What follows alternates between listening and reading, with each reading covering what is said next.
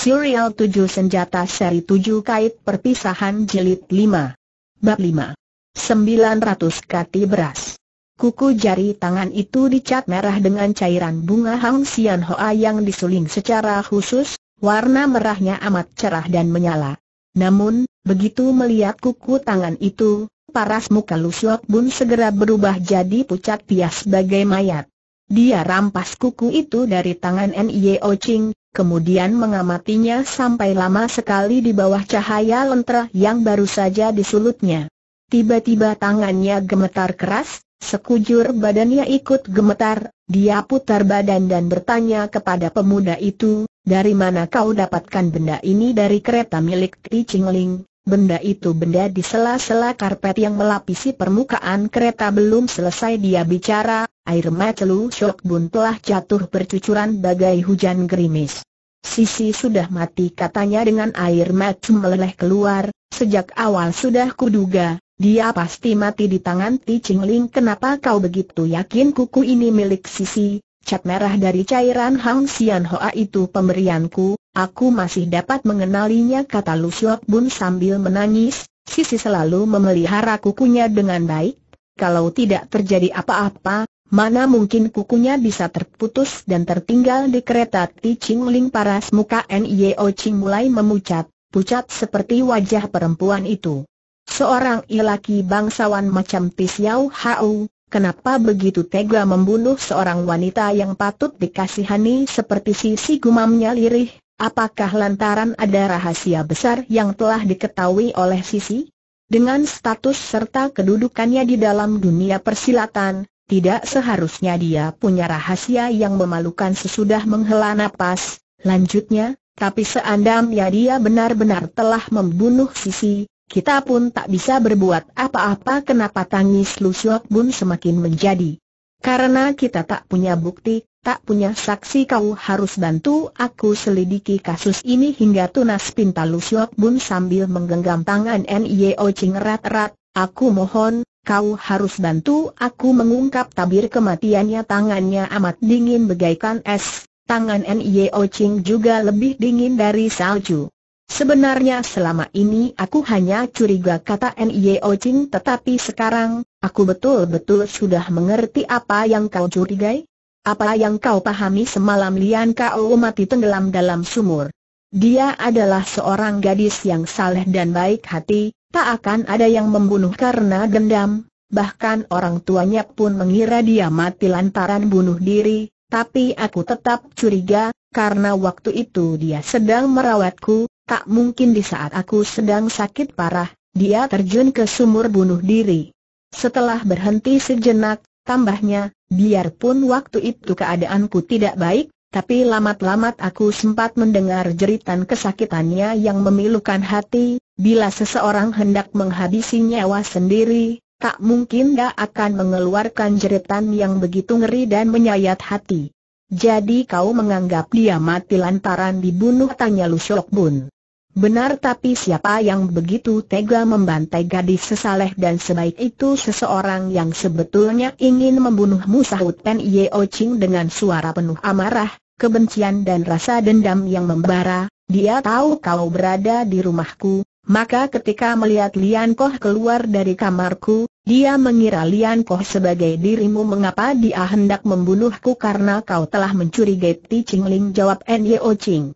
Karena itu kau tak boleh tetap tinggal di sini, sebab Ti Ching Ling pasti tak akan biarkan kau hidup, sekali gagal membunuhmu, pasti ada kedua kali dan ketiga kalinya, ditatapnya wajah Lu Shok Bun lekat-lekat, kemudian tambahnya, kau harus pergi bersamaku, tinggalkan segala sesuatu yang ada di sini dan pergi bersamaku, aku tak boleh membiarkan siapa pun mencelaki jiwamu sorot matanya begitu serius dan penuh permohonan, menandakan betapa tulus dan mendalamnya perasaan cinta terhadapnya. Lu Syok Bun segera menyeka kering air matanya, setelah mengambil keputusan dia menyaut. Baik, aku pergi bersamamu, terserah mau pergi ke mana pun, Aku akan selalu menguntilmu perasaan N.I.O. Ching terasa hancur lebur. Perasaan cinta yang merasuk hingga ke tuiang sumsum, sama menghancuri eburkan perasaan hati seseorang persis seperti sebuah penderitaan, entah bagaimana yang terjadi, tahu-tahu kedua orang itu telah saling berpelukan dengan mesrahnya baru pertama kali ini mereka berpelukan dengan mesra. Semacam tenaga tekanan yang datang dari Iwar, sering kali dapat menghancurkan sekat yang memisahkan dua orang lawan jenis yang sesungguhnya saling mencintai namun karena sesuatu hal tak bisa saling mencurahkan perasaan hatinya, tapi begitu sekat tersebut hilang, perasaan mereka berdua justru tumbuh dan berkembang semakin mendalam. Dalam waktu singkat, mereka seolah-olah sudah melupakan segala sesuatunya, melupakan semua kegundahan, penderitaan, kebencian serta perasaan sedih yang luar biasa. Keadaan seperti ini tidak berlangsung terlalu lama. Pada saat itulah, tiba-tiba terdengar seseorang mengetuk pintu. Seorang bocah lelaki berusia 12-13 tahunan yang berwajah putih bersih, tampan dan polos telah berdiri di depan pintu, dengan sikap yang amat hormat dia menjura kepada Lu Shok Bon yang sedang membukakan pintu.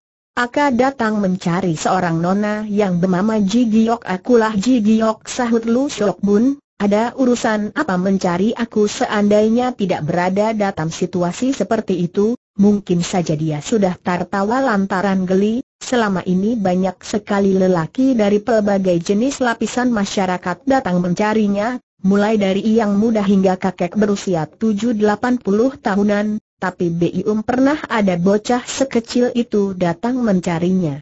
Mimpi pun dia tak menyangka bocah itu datang bukan untuk mencarinya, melainkan hendak mencabut nyawanya. Aku bernama Xiao Yap Chu bocah lelaki itu memperkenaikan diri sambil tertawa cekikikan, banyak orang bilang Nona Giok selain pintar juga amat cantik, ternyata mereka tidak membohongi aku ketika memperkenalkan namanya tadi, Diam-diam dia telah meloloskan sebilah pisau tajam, sebilah pisau yang belum pernah meleset bila digunakan untuk membunuh seseorang. Tapi kali ini dia meleset. Baru saja pisaunya ditusukkan ke atas, mendadak terdengar suara membentak gusar sambil menyerbu ke depan.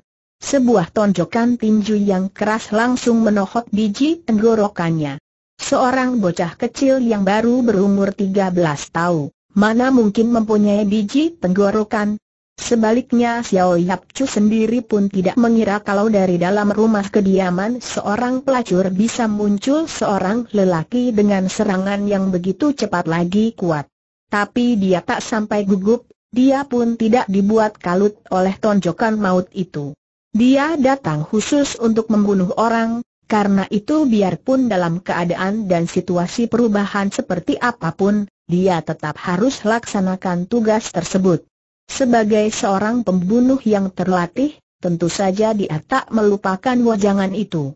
Badannya berputar bagai gangsingan, begitu lolos dari sodokan tinju N.I.O. Ching, dia berbalik tangan menusuk belakang tengkuk Lu Shok Bun. Kali ini babatan pisaunya tidak mi satu eset, di antara kilatan cahaya senjata mata pisau sudah menembusi daging seseorang, daging bagian bawah bahu. Bukan bahu Mi Ika Giok, tapi bahu itu Mi Ika N.I.O. Ching. Tiba-tiba saja N.I.O. Ching menerjang maju ke depan, menyambut datangnya tusukan pisau itu dengan bahunya kemudian menarik otot dan dagingnya kuat-kuat. Mata pisau seketika terjerumus ke dalam daging badan yang lebih keras daripada baja. Xiao Yap Chu terkejut bercampur girang, dia tidak tahu apakah serangan itu berhasil atau tidak karena selama ini belum pernah menjumpai situasi macam begini. Pada saat itulah telapak tangan N.I.O. Ching yang kuat bagai besi sudah membabat persis di atas tenggorokannya. Sepasang biji matanya melotot keluar bulat-bulat, memandang N.I.O. Ching dengan perasaan terkesiap. Menyusul kemudian tubuhnya roboh terkuiai ke tanah, roboh untuk selama-lamanya. Buru-buru N.I.O. Chin cabut keluar pisau pendek itu dari bahunya, lalu merobek pakaiannya untuk membalut luka di bahu, setelah menghentikan cucuran darah, dia tarik tangan Lu Syok Bun sambil bisiknya, kita segera pergi dengan wajah berubah Lu Syok Bun meronta melepaskan diri dari cekalan pemuda itu, teriaknya, kau pergilah seorang diri kenapa N.I.O. Chin melengak. Bagaimanapun juga dia masih seorang bocah, kenapa kau begitu tega membunuhnya? tegur Lu Shok Bun ketus, aku tak sudi hidup bersama seorang lelaki berhati telengas semacam kau. Nio Ching tahu dia sedang marah, bila dia sudah menganggap sesuatu itu benar, mau dijelaskan dengan perkataan apa pun tak ada gunanya. Karena itu terpaksa dia harus gunakan fakta untuk menjelaskan hal ini. Tiba-tiba dia tarik lepas celana Xiao Yap Chu hingga telanjang bulat, kemudian serunya, coba kau periksa, dia seorang bocah atau bukan. Dengan perasaan terkejut bercampur heran Lu Shok Bun awasi si bocah milik Xiao Yap Chu, siapa pun yang menyaksikan Hwasyo milik orang itu pasti akan tahu kalau dia sudah bukan anak-anak lagi. Bentuk serta tampilan bocah milik Xiao Yap Chu jelas sudah sangat matang dan amat dewasa. Dari mana kau tahu kalau dia sudah bukan seorang bocah karena tenggorokannya sudah berbiji? Carol memakai pisau pun sangat terlatih dan matang jelas N.Y.O. Ching, sejak awal aku sudah tahu kalau dalam dunia persilatan terdapat manusia macam dia, bahkan bukan hanya satu orang manusia macam apa dia itu mereka adalah orang-orang cebol yang memang sengaja dikendalikan pengembangan badannya dengan menggunakan obat, sejak kecil sudah dilatih menjadi seorang alat pembunuh manusia yang tangguh, karena dalam makanan yang disantapnya setiap hari dicampuri obat tawet muda maka kulit dan wajah mereka selamanya tak pernah jadi tua, Sampai kapan pun penampilan mereka tetap bagai seorang bocah setelah berhenti sejenak. Kembali dia menambahkan, bahan obat itu mahal sekali harganya, karena itu harga yang ditawarkan mereka sebagai upah pembunuh sangat tinggi dan mahal, kecuali bangsawan kaya raya macam Ti Chingling, tak banyak yang mampu menyewa mereka tangan dan kaki Lu Shok Bun mulai mendingin, dia benar-benar bergidik. Mau tak mau dia harus mempercayai perkataan N.I.O. Ching, jangankan manusia, banyak pohon bonsai yang dikerdilkan orang dan terbukti memang selamanya tak dapat tumbuh jadi tinggi dan besar. Tentu saja manusia berbeda dengan pepohonan. Siapa yang begitu kejam? Siapa yang begitu tega menggunakan kerok yang begitu keji untuk mengerdilkan sekelompok anak-anak? Tanya Lusyok Bum perkumpulan Ching Liong Pang, perkumpulan naga hijau, yang pernah kusinggung tempo hari, mereka semua anggota Ching Liong Pang dan biasanya menyamar sebagai kacungnya tokoh-tokoh penting. Perkumpulan itu tiba-tiba dia tertawa, dibelainya mulut luka di bahunya sambungnya, untung saja pertumbuhan orang-orang itu sudah dikendalikan sejak kecil hingga kekuatan tubuh mereka amat terbatas, kalau tidak mungkin aku pun tak berani menerima tusukan pisaunya Lusyok Bun menghela napas panjang. Kadangkala aku tak habis mengerti, dari mana kau bisa mengetahui begitu banyak persoalan? Tampaknya tak ada tipu muslihat dalam dunia persilatan yang dapat mengelabungi dirimu sekilas perasaan hormat dan pedih menghiasi wajah N.Y.O. Ching, lewat lama kemudian dia baru berkata, aku tahu semua mengenai itu, karena ada seseorang yang mengajarkan kepadaku siapa yang mengajarkan kepadamu N.I.O. Ching tidak menjawab lagi, dia lepaskan buntalan dari punggungnya, keluarkan daging dan kue keras dan diserahkan ke perempuan itu, kemudian dia sendiri jatuhkan diri berbaring sambil memandangi bintang-bintang di langit dengan termangu. Apakah dia sedang memikirkan orang itu? Waktu itu malam sudah amat larut, keluar dari rumah bordil LN Hangwan, mereka menelusuri lorong kecil menuju keluar kota, kini mereka sudah tiba di bawah sebuah bukit dengan mata air yang jernih. Pengaruh arak di tubuh N.I.O. Ching telah luntur, anehnya sakit yang dideritanya seolah-olah juga ikut berkurang banyak, saat itu dia betul merasa amat lelah. Dengan sorot mata penuh kasih sayang Lu Shok Bun mengawasinya, Tak tahan dia ulurkan tangan dan mulai membelai wajahnya yang kurus dengan penuh rasa cinta. Lebih baik tidurlah sebentar, bila terjadi sesuatu aku akan membangunkan kau N.I.O. Ching mengangguk dan mulai pejamkan matanya, dia seakan tidak peduli dengan suara langkah manusia yang mulai terdengar di tanah perbukitan itu. Langkah manusia itu lebih ringan daripada kucing, perlahan-lahan berjalan mendekat melalui tanah berumput, Dua pasang mata yang tajam bagai serigala mengawasi terus tangan N.I.O. Ching tanpa berkedip. Ternyata yang datang adalah dua orang. N.Y.O. Ching tidak tidur, jantungnya sedang berdetak, berdetak sangat cepat. Langkah kaki kedua orang itu kelewat enteng, ilmu sitatnya pasti amat tangguh padahal N.Y.O. Ching merasa amat lelah, dia sudah kehabisan tenaga. Dia hanya bisa berharap kedua orang itu menyangka dia telah tidur dan menggunakan kesempatan itu melancarkan serangan bokongan, dengan begitu dia baru punya PI uang untuk menyergap mereka. Tak disangka mereka segera menghentikan langkahnya di tempat yang amat jauh, bahkan dengan suara lantang mulai berteriak, Komandan NIO, malam amat dingin, kau bisa masuk angin jika tidur di tempat terbuka, mari ikut kami, akan kuhantar kalian ke suatu tempat yang sangat nyaman tampaknya kedua orang itu jaga gengsi, mereka enggan melancarkan serangan bokongan. N.Y.O. Ching merasa hatinya seakan tenggelam. Manusia macam begini baru betul-betul menakutkan, jika bukan seorang jago kelas satu yang berilmu tangguh, tak mungkin mereka akan bersikap begitu. Tak dapat disangkal mereka sudah begitu yakin bisa mencabut nyawa Ye Ching, maka mereka anggap tak perlu membokong secara licik. Di bawah pohon yang liu di kaki bukit berdiri dua orang, mereka menggenggam dua jenis senjata berkilauan yang aneh sekali bentuknya, Menanti hingga N.I.O. Chin bangkit berdiri, mereka baru berjalan menghampiri dengan langkah lambat, langkah kaki mereka enteng tapi mantap. Kedua orang itu sangat pandai menahan diri.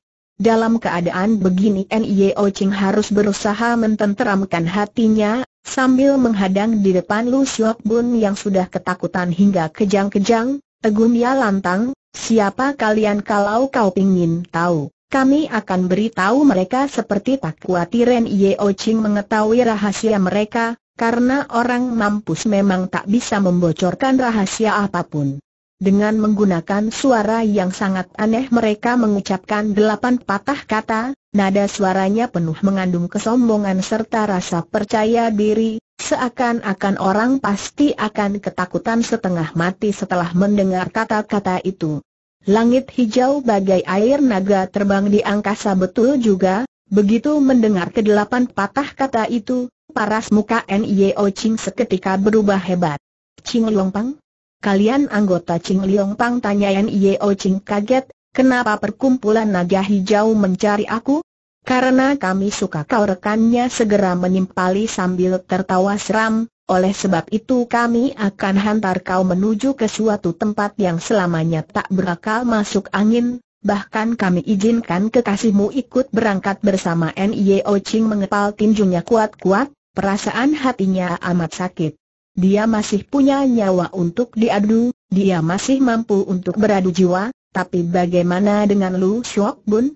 Mendadak dari atas batang pohon yang liu di kaki bukit bergema suara tertawa seseorang yang amat nyaring, menyusul kemudian dia berseru, dia tak pingin berangkat ke situ, lebih baik kalian berdua saja berangkat duluan kedua orang itu segera menyebarkan diri sambil membalikan badan, gerakan tubuhnya enteng lagi lincah, reaksinya amat cepat. Mereka seperti melihat ada orang melayang di atas pohon dan berdiri di atas batang pohon itu, namun tak nampak jelas paras mukanya. Karena pada saat itulah ada sekilas cahaya pedang berwarna biru yang amat menyilaukan mata, telah menerjang ke bawah dengan kecepatan bagaikan sambaran kilat. Menyusul gulungan cahaya pedang itu, suasana di sekeliling bukit kembali jadi tenang, dua orang pembunuh yang datang untuk membunuh orang, kini sudah roboh bersimbah darah. Kau teriak N.I.O. Chin terkejut bercampur girang.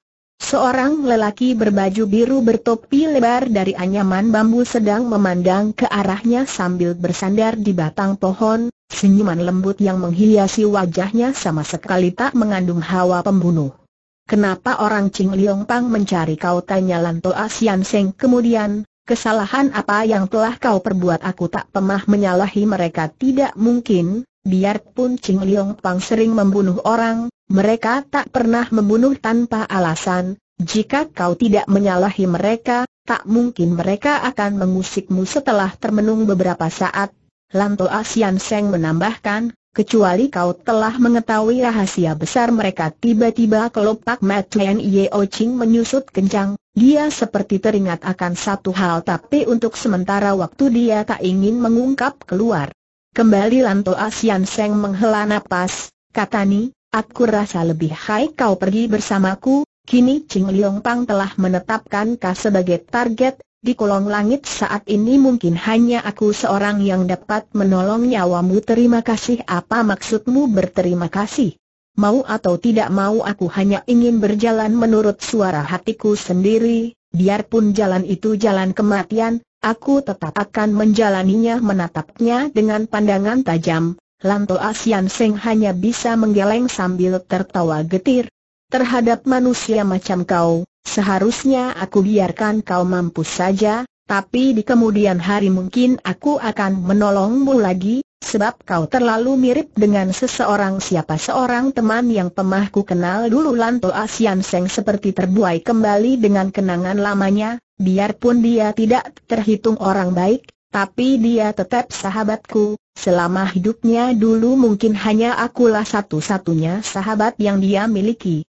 Aku bukan sahabatmu, terlebih tak pantas menjadi sahabatmu kata N.I.O. Chin cepat, hari ini kau telah menolongku, aku pasti akan mencari kesempatan untuk membayar hutang ini, karenanya lain kali kau tak usah menolongku lagi begitu selesai bicara dia segera tarik tangan Lu Siok Bun dan tanpa berpaling lalu berlalu dari situ. Setelah berada di tempat yang amat jauh, Lu Siok Bun bar tak tahan untuk berkata, aku tahu, kau pasti bukan manusia yang tak tahu diri, kenapa kau bersikap kasar terhadapnya? Apakah lantaran kau tahu pengaruh serta kekuatan Ching Leong Pang sangat dahsyat hingga tak ingin menyusahkan orang lain N.Y.O. Ching membungkam. Lu Shok Bun menggenggam tangannya rat-rat, kembali ujarnya, apa pun yang terjadi, aku sudah putuskan untuk selalu mengintilmu, biarpun jalan yang kau tempuh benar-benar adalah jalan kematian, Aku tetap akan mengikutimu N.I.O. Ching mendongakkan kepalanya memandang angkasa, melihat cahaya bintang yang berkedip nun jauh di sana, dia menghela napas panjang. Kalau begitu kita pulang dulu katanya. Pulang? Pulang ke mana biarpun sekarang kita tak punya, tapi di kemudian hari kita pasti memiliki rumah sendiri Lu Shok Bun tertawa, di balik senyuman terlintas perasaan cinta yang amat mendalam dulu kita pemah jatuh cinta, kau punya satu rumah dan aku pun punya sebuah rumah, tapi di kemudian hari kita berdua hanya memiliki sebuah rumah benar, di kemudian hari mereka hanya mempunyai satu rumah, bila mereka tak keburu mati, mereka pasti mempunyai sebuah rumah. Sebuah rumah yang penuh kehangatan dan kemesraan. Bukan seperti itu rumah milik Ti Ching Ling. Mungkin dia sama sekali tak punya rumah, yang dia miliki hanya sebuah gedung raksasa yang maha mewah, bukan sebuah rumah. Gedung bangunan itu begitu besar, begitu luas dan begitu megah, namun selalu mendatangkan perasaan dingin, sepi dan seram yang tak terlukis dengan kata, terutama jika malam telah tiba, bahkan Hok Chong Kuan si kepala rumah tangga pun tak berani seorang diri berkeliaran di seputar halaman. Hok Chong Kuan tidak bermarga Hok, dia dari Margati. Tihok sudah puluhan tahun hidup dalam gedung keluarga bangsawan itu, dimulai sebagai seorang kacung hingga naik pangkat menjadi seorang congkoan, sebuah karir yang tak gampang untuk mencapainya. Dia tabu Xiao Hoya pulang bersama Ing Sian Seng, biarpun hingga kini dia belum bersuah dengan Ing Sian Seng, namun dia tak berakal banyak tanya, dia memang tak berani bertanya.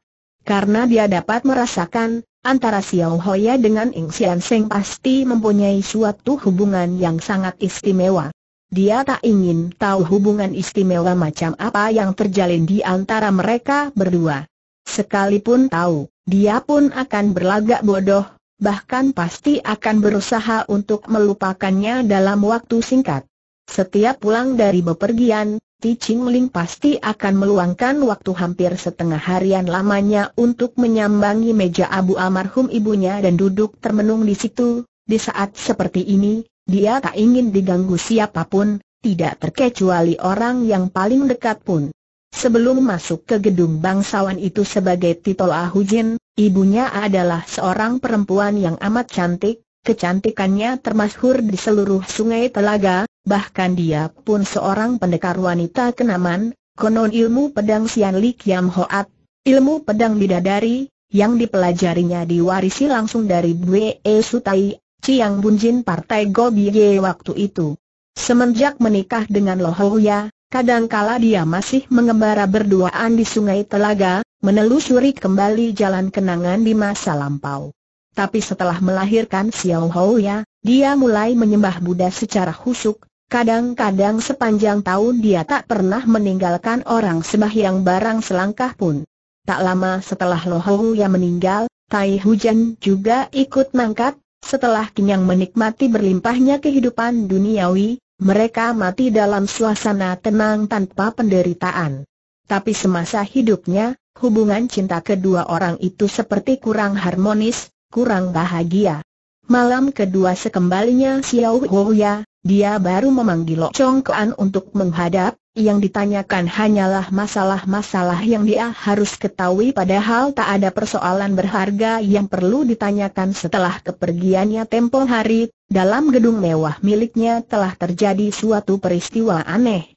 Beberapa hari berselang, tiba-tiba ada orang mengirim 900 kati beras, sebenarnya aku tak berani menerima, tapi si pengirim beras berpesan katanya beras itu adalah hadiah uang tahun Xiao ya dari seorang sahabat karibnya yang bernama Liong Toaya, karena itu aku tak berani untuk menampik pemberiannya 900 kati betas berapa banyak, jumlah beras itu, bisa membuat kenyang berapa banyak orang? Mungkin jarang ada yang bisa menjawab. Malah sebagian besar orang di dunia ini tak pernah melihat beras sebanyak itu sepanjang hidupnya, orang yang bisa menghadiahi can beras sebanyak 900 kati untuk orang lain pun mungkin bisa dihitung dengan jari tangan. Picing Ling tidak nampak terkejut, air mukanya sama sekali tidak berubah, dia malah bertanya, di mana berasnya? Sekarang sudah dimasukkan ke dalam gudang besar yang pernah dipakai Lohouya sewaktu menyiapkan rangsum sebelum berangkat perang, sebelum Xiao Hao Uya kembali, siapa pun tak berani memindahnya Ti Ching manggut-manggut tanda sangat puas. Kembali Lok Chong Kean berkata, pagi tadi ada dua orang tamu datang mencari Xiao Hoya, mereka mengaku sebagai sahabat Xiao Hoya, malah merekalah orang yang diutus Liong Toaya untuk menghantar beras itu, karenanya aku tak berani untuk tidak mempersilakan mereka menunggu di mana orangnya kali ini Ti Ching Ling kelihatan sedikit tercengang. Mereka berada di pesanggrahan Teng Wee Xiao Chiok, pesanggrahan menikmati suara rembulan, rembulan tak bersuara, apa yang didengar dari rembulan? Justru karena rembulan tak bersuara maka harus didengarkan, yang didengar adalah tidak bersuaranya rembulan, yang dinikmati adalah rembulan yang tak berbersuara. Benarkah kadangkala tidak bersuara jauh lebih unggul ketimbang bersuara? Tak ada rembulan, yang ada hanya bintang, cahaya bintang memancarkan sinar redupnya membias di atas kertas jendela. Rembulan tak bersuara, bintang pun tak berkata. Dalam pesanggrahan Teng GWS Yao Chok duduk dua orang, mereka duduk tenang di sana sambil minum arak, arak yang diminum adalah Li Jiang yang harum. Hoa Suya minum tidak terlalu banyak, tapi rekannya Mum banyak sekali, seolah dia jarang punya kesempatan untuk menikmati harumnya arak kenamaan dari wilayah Kang Lam ini. Ketika Ti Ching muncul di depan pintu, dua orang tersebut segera bangkit menyambut, perkataan pertama dari Hoa Suya adalah bertanya, Apakah Xiao Ya sudah menerima kiriman beras sebanyak 900 kati dari Liong Ya dengan pengalaman Hoa Suya dalam pergaulan? Seharusnya dia berbahasa basi lebih dulu sebelum menyinggung persoalan pokok, tapi begitu bertemu muka, pertanyaan pertama adalah 900 kati beras, padahal barang itu hadiah seseorang kepada Ti Ching Ling dan sama sekali tak ada sangkut paut dengan dirinya, dari sikapnya ini membuktikan bahwa ia memandang barang itu jauh lebih penting ketimbang Ti Ching Ling. Sudah ku terima sejak dua hari berselang jawab Ti Ching Ling, sampai kini belum ada yang berani menyentuhnya. Bagus sekali Hoa Soya menghembuskan napas lega, senyuman kembali menghasi wajahnya, Xiao Hou ya pasti sudah dapat menebak dari mana datangnya beras itu. Bukan kalau beras tentu datang dan persawahan sahut Ti Ching Ling sambil tertawa hambar, tapi kalau dalam karung bekas disembunyikan uang perak, itu mah susah untuk dikatakan kontan. Hoa Suya tertawa keras. Xiao Hou ya memang tak malu disebut naga di antara manusia, Sejak awal sudah kuduga tak berakal ada rahasia yang bisa mengelabungi dirimu dia rendahkan nada suaranya dan berkata lagi setengah berbisik. Pengeluaran serta biaya operasi Ching Liong Pang kian hari kian bertambah besar, kadangkala kami harus melakukan sedikit usaha tanpa modal untuk menopang pengeluaran itu, cuma, kami mesti bekertas rahasia mungkin dan rahasia itu tak boleh sampai bocor, kalau tidak susah untuk menghadapi akibatnya. Pekerjaan kalian kali ini sangat bagus dan sempurna selat Ti Ching sambil tersenyum. Hoa Suya memenuhi cawan Ti Ching dengan arak, setelah itu lanjutnya, tapi kali ini terpaksa kami harus mengganggu Xiao Hoya, seperti diketahui barang itu kelewat mencolok, Sementara waktu tak leluasa untuk diangkut pulang, maka kami pikir paling baik jika dititipkan dulu di sini, menjaga kemungkinan gagalnya rencana tersebut. Aku paham sahut Ti Ching Ling hambar, ketika kalian akan membawanya pergi, ku jamin setahil perak pun tak bakal kurang. Tentu saja tak berakal kurang. Hoa Suya tertawa paksa, orang yang bertanggung jawab atas operasi kali ini adalah Tongcu dari Sah Gewe Etong, ruang bulan 3, Beliau selalu menaruh rasa kagum dan hormat yang luar biasa terhadap Xiao Houya. Beliau pasti akan datang sendiri untuk mengucapkan rasa terima kasihnya perkumpulan Ching Liong Pang terdiri dari 360 buah kantor cabang, terbagi meniadi 12 ruang atau bagian. Pi Ching Ling tidak bertanya siapa gerangan Tong Chu tersebut, sebaliknya menegur orang yang sudah minum arak sangat banyak itu. Apakah kedatanganmu dari luar perbatasan juga lantaran persoalan ini benar? Jawab orang itu sambil tertawa paksa, rencana yang disusun kali ini ibarat sebuah rantai, setiap rangkaian rantai itu mesti saling terkait dengan kuatnya, aku tak lebih hanya salah. Satu meter rantai itu, padahal tidak banyak tugas yang kukerjakan. Dia berperawakan tinggi besar dan berwajah sangat wibawa, Orang itu tak lain adalah Ji Chong Kuan dari petemakan Kudalok Jit, Jin Heng Kian. Yang lebih kebetulan lagi kata Hoa Suya lagi sambil tertawa, dalam menjalankan rencana ini, tanpa disengaja kami telah melakukan sedikit pekerjaan bagi Xiao Hou Yang Oye sekarang kami sudah jadikan N.I.O. Ching sebagai kambing hitam, Pihak kerajaan juga telah memberi batas waktu 10 hari untuk menangkap si pelaku pembegalan suara tertawa Hoa Suya bertambah keras dan gembira, jangan lagi 10 hari, biar 100 si Ebi 10 hari pun jangan harap kasus ini dapat terungkap kenapa sebab waktu ini manusia yang bernama N.I.O. Ching mungkin sudah lenyap, tentu saja pihak kerajaan mengira dia telah melarikan diri sambil membawa hasil rampokan. Jadi urusan tersebut sama sekali tak ada sangkut pautnya dengan kita kenapa dia bisa lenyap secara tiba-tiba karena kami telah meminta kantor cabang untuk mengurus dua orang pembunuh tangguh suara tertawa Hoa Suya bertambah riang, dengan kemampuan ilmu silat dan kematangan pengalaman yang dimiliki kedua orang pembunuh itu, mereka pasti dapat membunuh tanpa meninggalkan sedikit jejak pun kau kira dengan kemampuan mereka berdua sudah cukup untuk menghadapi N.Y.O. Ching lebih dari cukup. Ti Ching Ling menghirup araknya satu tegukan, kemudian baru berkata, kalau begitu kuanjurkan kepada kalian agar segera bersiap-siap untuk membersih jenazah kedua orang pembunuhmu. Kenapa? Karena kalian terlalu pandang remeh kemampuan N.Y.O. Ching. Siapa pun yang terlalu pandang remeh kemampuan musuhnya, mereka telah melakukan satu kesalahan yang fatal, kesalahan fatal yang mesti dibayar dengan nyawa sendiri. Tiba-tiba dia berpaling keluar jendela dan menambahkan, Bagaimana menurut pendapatmu Ong Tong Chu dari Si Kwe E Tong? Rung bulan empat dari luar jendela segera terdengar seseorang menghela napas panjang, AAI, Aka sependapat dengan Xiao Hou ya, karena aku pernah membantu uruskan jenazah mereka angin berhembus masuk dari daun jendela, seorang lelaki tinggi besar menerobos masuk ke dalam ruangan dengan gerakan lincah, Dia adalah Tongcu dari ruang si Gewe Etong, salah satu cabang perkumpulan Ching Liong Pang, dan orang itu memang bermarga Ong.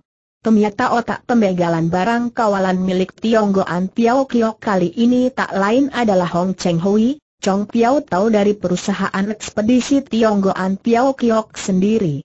Piching Ling sama sekali tidak tercengang, sebaliknya Hoa Suya amat keheranan, serunya tak tahan, Xiao Hou ya, dan mana kau tahu kalau dialah Tongcu dari si Gwe Etong karena hanya Ong Chong Piao tahu yang punya kesempatan untuk menukar isi uang perak itu dengan barang rongsok, jelas Ti Chingling. Padahal ketika terjadi pembegalan atas barang kawalan itu, dia tak boleh berada di tempat, maka Jin Chong Koan pun sengaja datang dari luar perbatasan untuk mengadakan lelang kuda, tak ada jago di dunia yang tak suka kuda mestika, maka Po Kim Chu yang kerancingan kuda pun pasti akan ikut menghadiri lelang akbar tersebut setelah tertawa ringan, tambahnya. Oleh sebab itulah Ban Kun Bu pasti tak akan melewatkan lelang kuda itu dan hadir juga di sana. Itulah sebabnya, karena harus menghadiri lelang kuda, bukan saja Ong Cheng Hui punya alasan yang kuat untuk tidak hadir saat terjadinya pembegalan, Ti Ching Ling pun punya kesempatan emas untuk membunuh Ban Kunku. Maka dari itu meter rantai yang dipegang Jiu Chong Kuan justru merupakan meter rantai paling penting. Jiu Chong Kuan, kau tak usah merendah lagi kata Ti Ching sambil angkat cawan dan memberi hormat kepada Jin Heng Kian. Xiao ya, kau sangat hebat, aku kagum kepadamu seru Jiu Heng Kian sambil meneguk habis isi cawannya.